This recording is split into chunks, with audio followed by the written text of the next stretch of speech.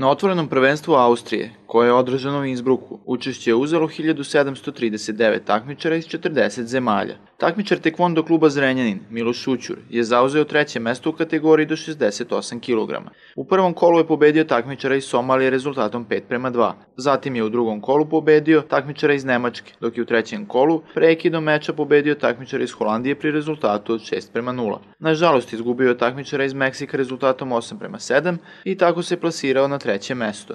Miloš je rekao da je ostao žal za pojenom razlike koji bi ga odveo u finalni meč i naglasio je da je ovo veliki uspeh za klub i veliki motiv za dalji rad.